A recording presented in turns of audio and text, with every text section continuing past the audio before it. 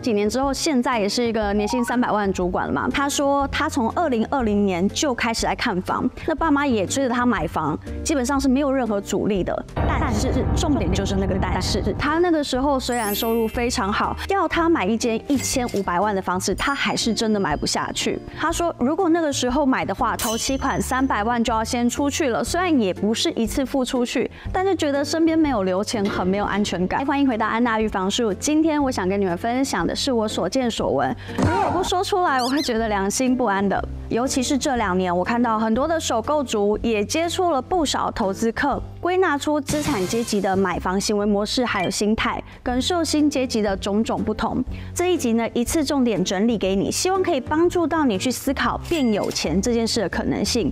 那我们先打个预防针哦。我觉得接下来的内容可能会让有些还没有买房也不打算买房的观众感到不舒服。那我真的理解，也尊重每个人对于房市的判断。所以，如果你是用居住正义的角度去看这一集的话，我建议你现在就先关掉这个页面离开，因因为这一集呢，不是在探讨台湾，甚至应该说资本主义下社会的不公平，因为就真的不公平。就算我们不认同、不喜欢这样的现况，但事实是，居住随着资本主义的蓬勃，也越来越不正义。好，那我们就进入正题吧。看完这一集，你会了解，如果你是受薪阶级，你可以做什么才可以向财富自由跨出第一步？为什么大家的薪水都这么低，房价却可以屹立不摇，甚至持续上涨？少子化趋势。下这么多的房子到底是卖给谁？为什么政府这两年寄出这么多打房政策，房价却不受影响呢？如果你是受薪阶级，你可以做什么才可以向财富自由跨出第一步呢？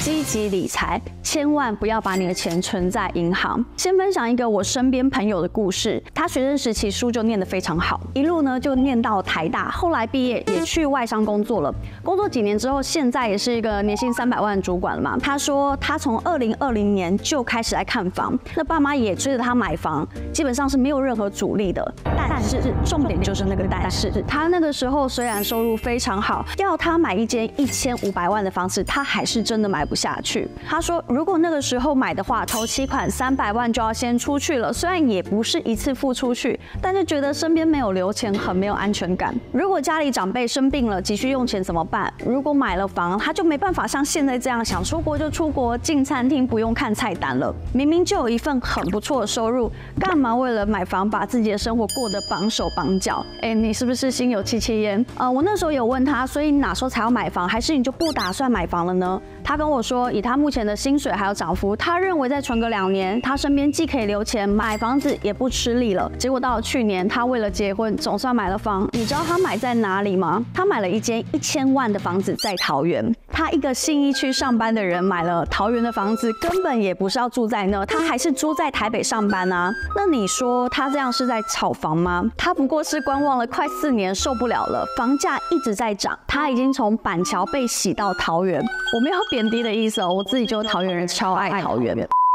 然后他就告诉我一句我觉得很值得玩味的话：我买了第一间之后，就开始在看第二间了。他说他本来觉得自己薪水很高了，可是真的买了房之后，他才发现，如果他不把钱拿去投资，他这辈子可能就要守着这间房住到六十五岁退休了。那他打算拿第一间的房子赚的钱再买下一间，就算要等五年再转卖也没有关系，中间他只要出租的租金刚好可以 cover 房贷的利率就好了，因为他会用房贷宽限期。这只是其中一个例子哦，还有太多类似的故事。买房也只是其中一个。理财的方法，你当然也可以把钱拿去买股票、玩期货、投资朋友的餐厅，但是风险跟要花的时间成本都很高。你说像研究股市嘛，就非常花时间，我自己就心有戚戚焉。而房子它不只是可以让你光明正大的开高杠杆的理财工具，我再说一次哦，这个是现实世界把房子作为理财工具快速累积财富的方法。增贷也好啦，想办法延长你的房贷宽限期也好，不是说这样的方式有多好多棒，但是它的确可以让你。变有钱，而且见往之来嘛，长期来看，只要经济没有萧条，房价大概率会是向上的，不是没有风险，而是风险相对小。为什么大家薪水都这么低，房价却可以屹立不摇，甚至持续上涨？那我这边就粗暴一点的回答，因为有钱人真的太多了，他们的钱没地方放，所以他们买房，他们帮孩子买房，找人头来买房，这件是呢，就是一个很多人在做，但是语法不合的事。就算不找人头避税，现在台湾的房地产持有税跟买卖的房地合一税，相较于很多的国家还是很低的。再就是呢，其实不动产有一个特性，土地的数量是有限的，不会增加。如果你把全国财富当成分子，土地是分母的话，在经济不断成长的情况之下，土地的价值越来越高，房价自然也越来越高。而且这些有钱人，他们其实也没有想要靠房地产致富，他们已经很有钱了嘛，他们只是不希望钱被通膨吃掉而已。这也是为什么房价跌不了的原因，因为有钱人的房子很多，他们也不需要赔钱卖房子。那少子化趋势之下，这么多的房子到底是卖给谁？除了这些有钱人以外，其实还有新一批的有钱人。以台湾来说的话，就是高收入的竹科新贵。科技园区大多远离传统市区，为了缩短他们的通勤距离，创造了很多很多的从化区。许多的竹科人刚去的时候，家里帮忙买了间套房，结婚之后又买了一个两房，孩子大了之后呢，又买了间三房。在这个换屋的过程中，就发现，哎，房价一直涨哦，投资房地产赚的还。不输本业，那尝到甜头了嘛？台积电的工程师组团买房子就是很好的例子。当我们都对竹北飙到八十万的房价感到不可置信的时候，这些工程师已经往其他台积电有设厂的城市买房了。呃，最近像高雄、嘉义啊等等这些地方的房价都不是在地人买的。而是这些赚很多的工程师在买，还有一些人他在股市好的时候就赚了不少，就开始想把钱挪到其他地方了。房子也是一个他们会放钱的标的。当你有很多钱的时候啊，你就会开始找更多的投资标的去分散你的风险。你说房价现在是在虚胖吗？但是现在也不能再转单了嘛。这些钱就是扎扎实实的在支撑那些高房价。